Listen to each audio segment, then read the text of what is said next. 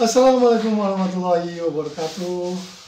Saya ucapkan terima kasih banyak kepada teman-teman semua yang sudah mampir di channel ini. Buat rekan-rekan semua, saya doakan semoga selalu diberi kesehatan, diberi umur yang panjang, selalu diberi rezeki yang banyak, yang berkah, yang melimpah. Amin ya rabbal alamin. Sudah lama channel ini tidak mengupload tentang video motivasi. Video kemarin motivasi itu kita mengupload tentang priceless stones. Dia bercerita tentang setiap orang, setiap orang, masing-masing orang, itu pasti mempunyai nilai. Tergantung dia memilih lingkungannya, tempat dia berada, di mana dia bisa memilih lingkungan yang bisa menghargai dia saya akan menampilkan satu lagi video inspirasi yang menjadi motivasi kita di mana video ini kita ambil dari cuplikan ketika Bapak Dr. Andri Satriago bercerita atau berpidato di saat pertemuan PLN Jawa Tengah dan Yogyakarta sekitar setahun yang lalu. Jadi nanti teman-teman semua bisa simak dan dengarkan baik-baik apa yang disampaikan oleh apa Andi Santiago ini. Oke? Kita akan saksikan video tersebut.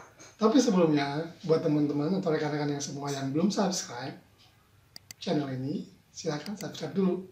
Oke? Oke, sekarang kita saksikan videonya. Ini dia. Teman-teman saya duduk di kursi roda ini sudah lebih dari 30 tahun. Umur saya masih 17 tahun waktu itu. Ketika dokter kemudian memfonis saya punya kanker kelenjar getah bening yang tumbuh di tulang belakang saya. Kami bawa ke dokter, ke orang pinter, nggak tahu lah berapa itu IQ-nya orang. Tapi ternyata Allah pengennya bikin saya nggak bisa jalan. Jadi pada satu sore sesudah berbulan-bulan saya nggak sekolah, ibu saya manggil saya, nak ayo kita sholat asar. Kamu jadi imam.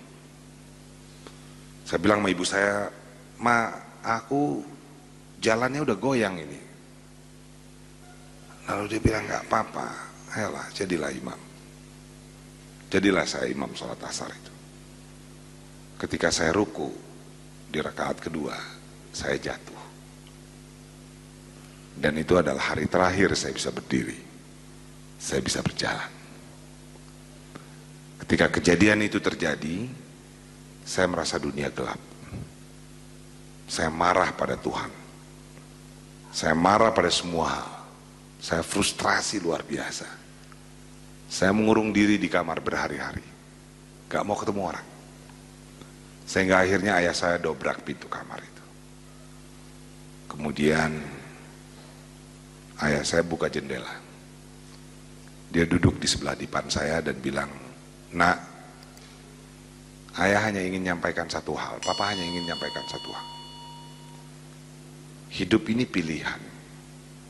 Kalau kau memilih nggak mau ngapa-ngapain, tidur aja di sini, ya nggak apa-apa. Kami sebagai orang tua paling semua bisa mendukungmu.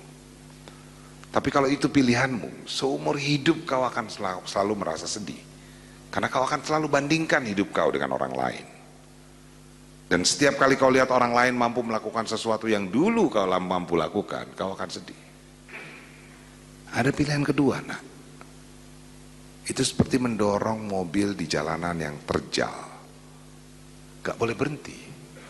Karena kalau berhenti mobilnya turun lagi. Harus terus didorong. Kalau kau capek nggak apa-apa, pelan tapi tetap dorong. Jangan berhenti. Dulu kau suka manjat tebing, nggak mungkin orang main manjat tebing di kamar ini. Kau suka main teater, gak cukup lapangan rumah kamar ini untuk orang main teater. Kau suka nangkap kupu-kupu, gak masuk kupu-kupu itu banyak-banyak ke kamar ini untuk ditangkap. Sudah, habis itu beliau pergi. Pergi ke kantor. 10 menit sesudah itu, saya keluar dari kamar. Saya bilang pada ibu saya, Ma, saya mau sekolah. Tolong panggilkan taksi. Sejak hari itu, saya dorong mobil saya. Susahnya setengah mati teman-teman. Tapi kalau saya nggak berani dorong itu, Gak sampai saya di sini. Gak mungkin saya bisa lihat lagi kampung saya di Payakumbu itu. Gak mungkin saya bisa lihat Lombok, New York, Paris, Gorontalo, dan seterusnya. Karena untuk naik pesawat aja susah aja setengah mati. So teman-teman, setiap orang pasti punya kesusahannya. Anda pasti punya kesusahan masing-masing. Dan ada bagian kesusahan yang hanya dibuat oleh Allah untuk Anda sendiri. Untuk dihadapi. Berhentilah berharap orang lain mengerti anda apa yang anda, anda susahkan. Karena nggak bakalan. Satu-satunya cara adalah menghadapinya. Ketika anda berani hadapi itu, maka ada sebuah kekuatan yang diberikan oleh yang maha kuasa, yang tidak diberikan kepada semua orang. Kekuatan itu adalah kekuatan memantul balik. Yang akan membuat anda memantul tinggi ketika anda dihempaskan ke bawah. Jangan pernah takut pada kesusahan yang anda hadapi apa pun itu. Jangan pernah menyerah. Selamat mendorong mobil Anda. Thank you.